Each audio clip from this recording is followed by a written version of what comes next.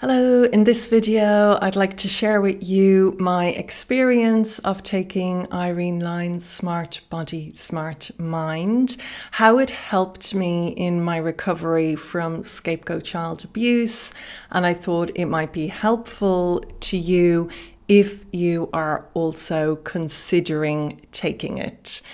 So I took Irene Lyon's Smart Body, Smart Mind course back in 2017. Um, and that seems like an absolute lifetime ago to me.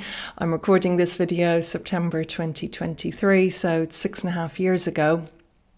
Um, and at that time, back in 2017, I was searching around for information on the stress and trauma in the body and the fight, flight, freeze response and how that impacts the body. So I came across Irene's teachings, and of course, she has such a huge volume of information online on her social media, on her YouTube, and that was super helpful for me.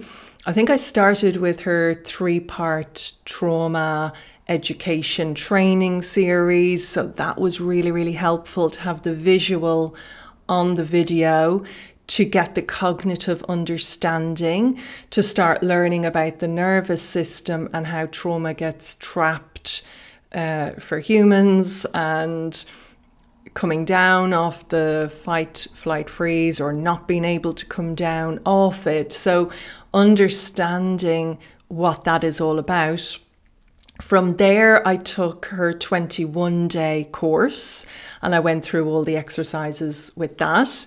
Um, I think that was kind of a self study. And from there, I decided to do her flagship program, the Smart Body, Smart Mind. So that was around March, I think, 2017. So it was absolutely amazing. I loved doing Smart Body, Smart Mind. I'm a big, avid lifetime learner. I've taken so many online courses in the last 10 years. Um, I'm very conscientious as a learner. I remember having my printer and printing out all the worksheets for all the weeks as we went along, week one to week 12 of the course. I remember ticking off, doing what we needed to do each day as was suggested, went to all the Q&A calls and really absorbed all the information. And I did actually also at the time work one to one with somebody from Irene's team, um, a somatic experiencing practitioner. That was really helpful as well. So for me, it was all about getting back in tune with the body from the complex childhood trauma that I experienced and was dealing with. What I discovered is that the body numbs out um, there's a disconnect from our body. I, do feel like my gut intuition was offline. It was hard for me to tune in and know uh, what was right for me or making decisions was always quite laborious. Um, so, over the course of taking the course, it really did get my gut intuition back online um, and how it tied in for me being the family scapegoat. So in August, September of 2017, I did a visit back to Ireland to visit my family of origin. And I knew, I knew at the time, uh, you know, it was pretty precarious situation. I knew I was being abused, but I was still very much trauma bonded with the family members, and the thoughts of going no contact was extremely daunting.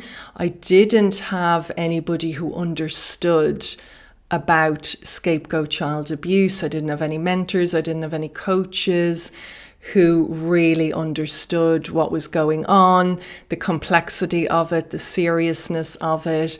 and how it was really detrimental to me to be in that situation around very unsafe people who were not able to change how they were interacting with me. It was really hurting me, but they were not able to interact with me in any other way. So then uh, the ball was in my court. Okay, what do I do? I'm an adult in my 40s at that stage.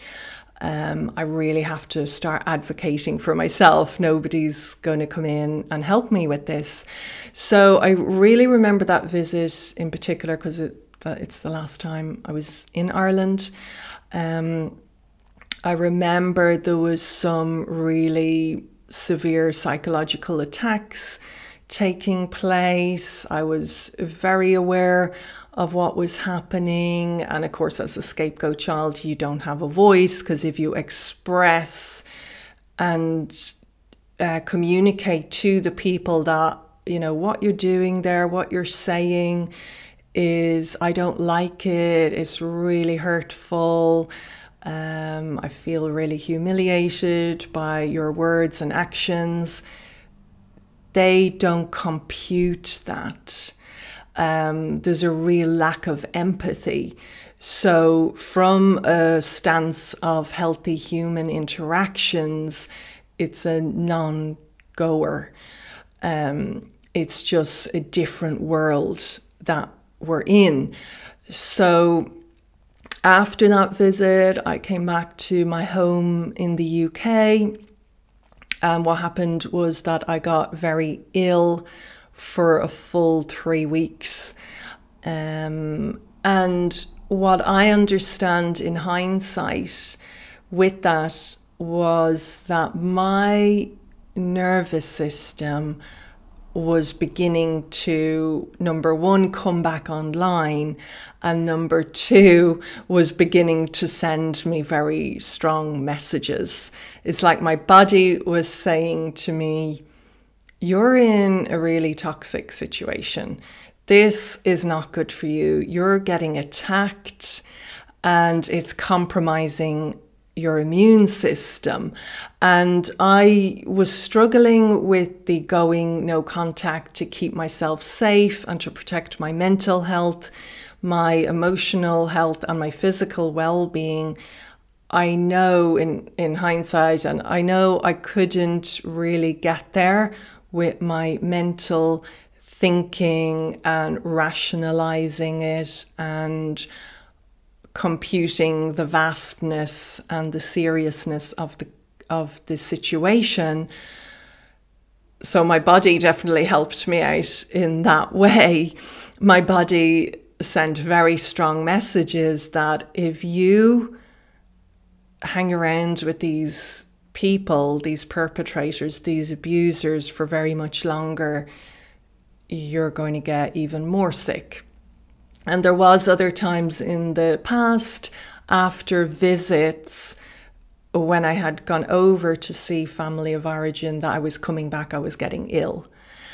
Um, so my body was communicating with me, and I do like the name of that book, When the Body Says No. Um, and the other book, the body keeps the score. So my body was keeping the score. My body and nervous system was saying, oh, look, Mary is understanding about the nervous system. Mary is getting this education on board.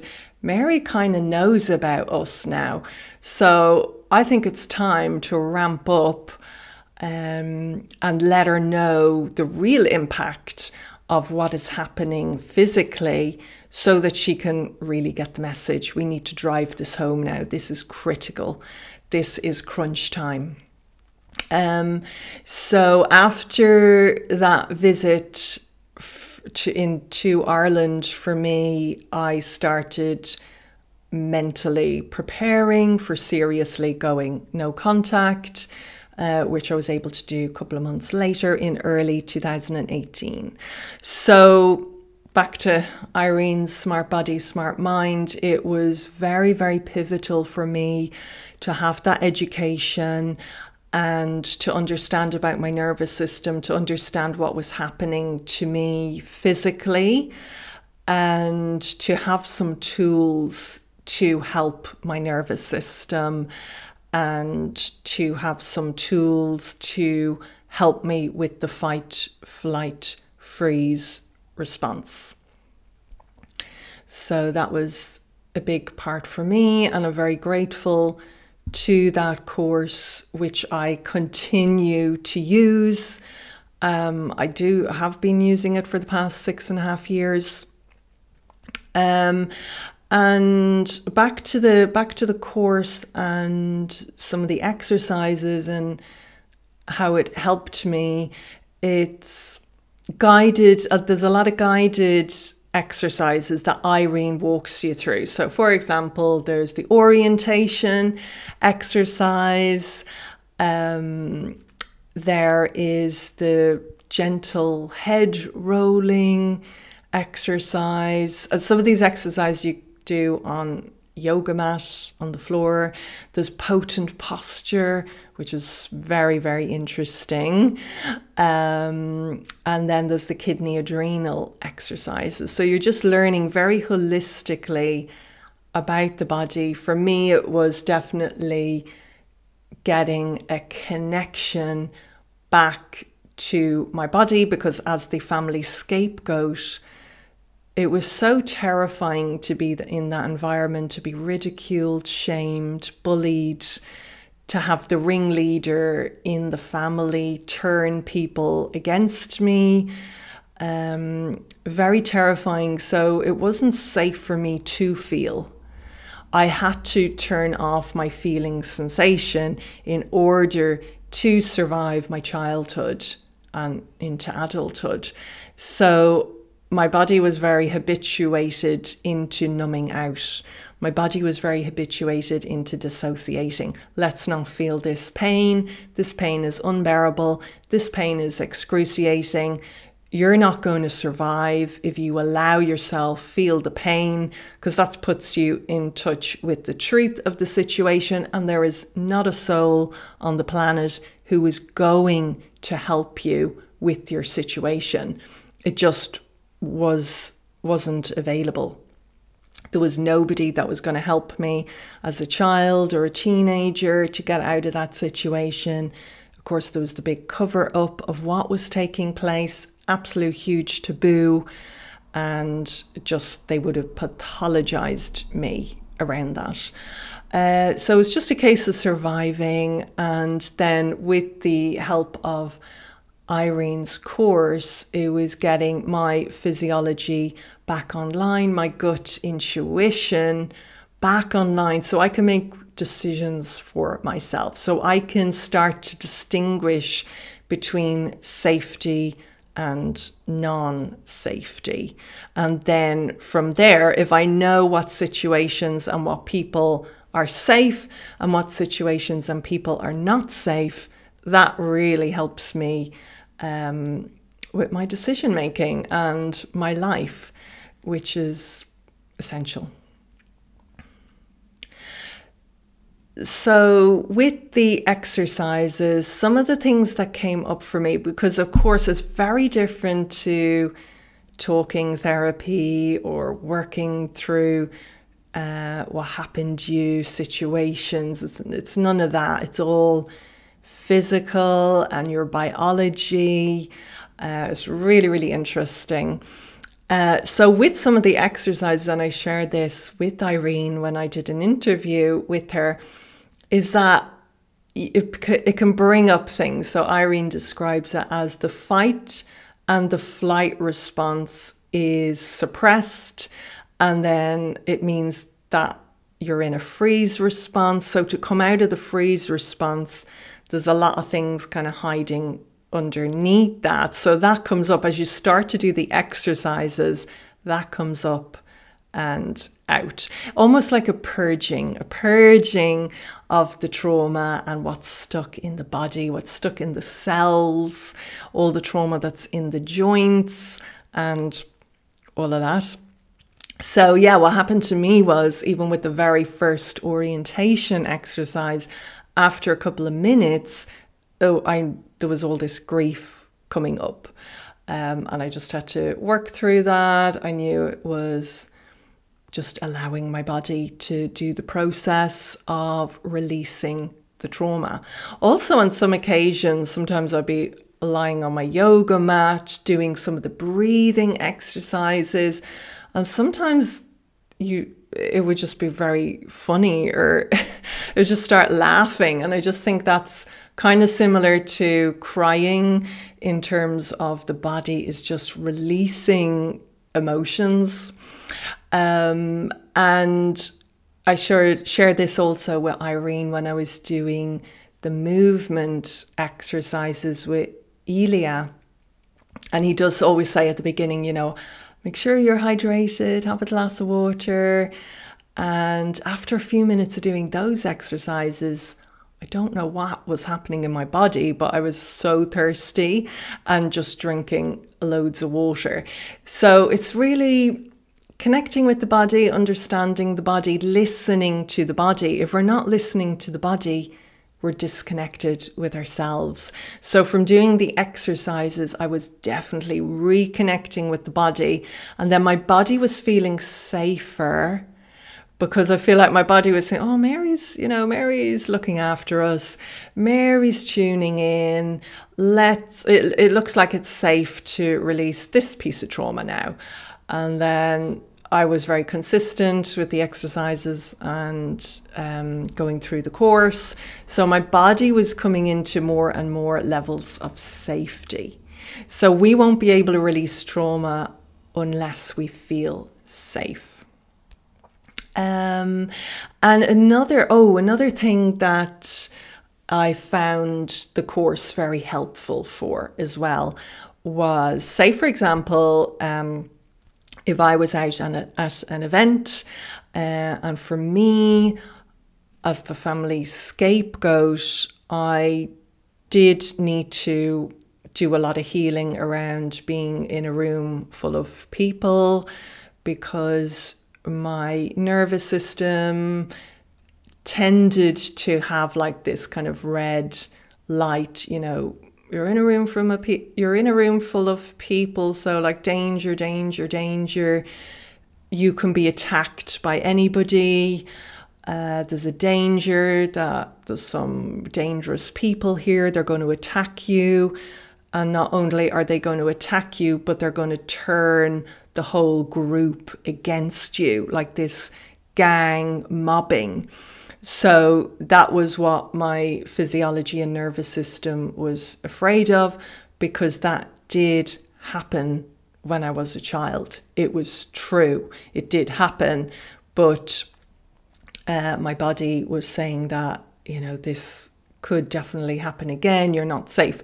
So, when I would come back from being around people, when I would come back to my home, my nervous system would be very, very activated and maybe adrenalized or just um, very activated is the word I'll use. And before, I definitely wouldn't notice that so much. And I used to have a habit of coming back from work events and my the first thing I would do because I did have habit of emotional eating. Um, so I go to the kitchen and eat toast uh, with peanut butter and jam. Um, and what happened to me with, and I used to do all sorts of other emotional eating, not a huge issue, but just extremely habitual for me and something I learned as a child to do to numb out the very difficult feelings that I had no help as a child to deal with, and there was a lot of emotional violence when I was growing up. So that was a coping strategy that I had, and it just kept going all through my adult life. Not a huge issue, but I don't like to be consuming food to numb out difficult emotions. I'd rather be consuming food because my body needs calories and it needs energy.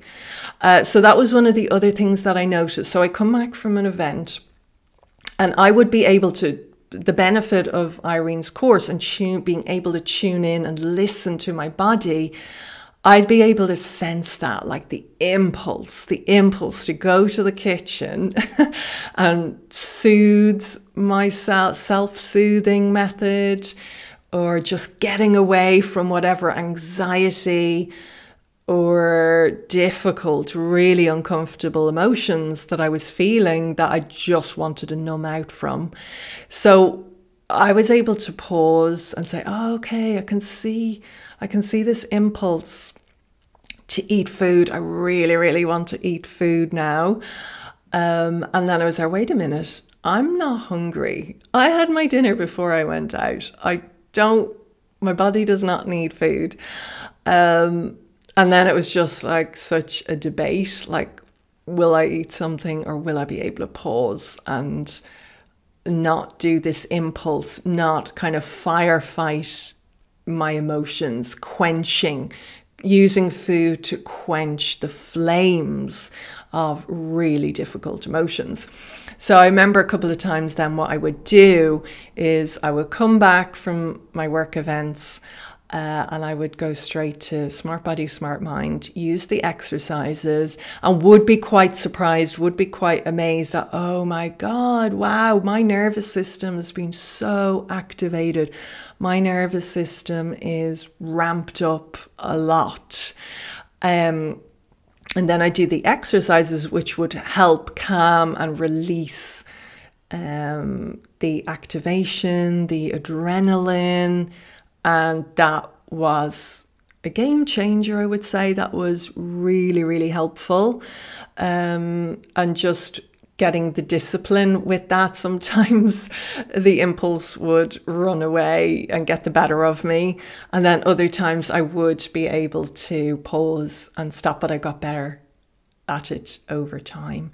And that's still a technique, not a technique, that's still something I use today. Like I'm very aware of if I have that impulse to use food as a coping mechanism for some difficult emotions that I'm not prepared to look at. And I know the healthy way um, and the way to heal is to pause and to be with the difficulty, the excruciating difficulty of whatever may come up there. Because if I don't allow it to come up and release it in a healthy way, and by doing Smart Body, Smart Mind, I understood all the layers of what that was about, well, then it's just going to continually happen. And I'm just going to keep doing that and using things or food or substances to escape from challenging emotions. And then what I learned from that is okay, these are just really difficult emotions. I can I can deal with it. It's not as bad, it's not as life-threatening as it was when I was a child. And what I understood with that was these are almost like trapped emotions, feelings that I was not able to feel as a child because, as I say, there's no help. I'm not going to get anywhere. No point in feeling those things as a child, and it's terrifying. So they're still there in the body, is what I learned.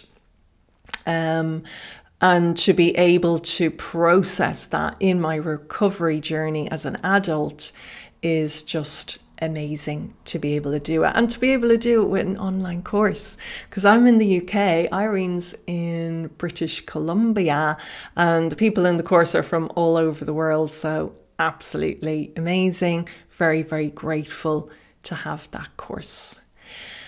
So, um, that probably covers what I wanted to share about it. Um, I do still log in to the course, use it every week, as I say. The other benefit that I found from it is sometimes I call it my sleeping tablet.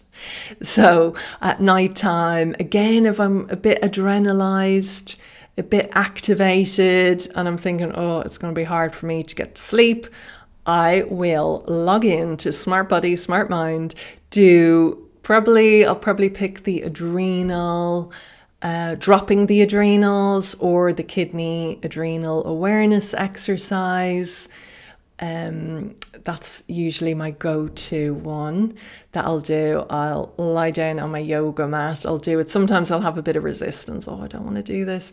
But I know it helps me. Or if I wake up in the morning and I've had kind of broken sleep or not really a good night's sleep, first thing I'll think about is Did you do your smart body, smart mind exercise last night? No, you didn't. Well, you should have because I would have had a much better night's sleep. So, absolutely love it for getting a really good night's sleep because your parasympathetic uh, nervous system is online and your body well my body was feeling oh it's it's safe for me to go to sleep. There's not any threats uh, it's different. I'm not in my childhood home so there's not any threats and it's safe for me to go to sleep. And of course sleep is so important when we're healing when we're in recovery and to be able to live our day-to-day life.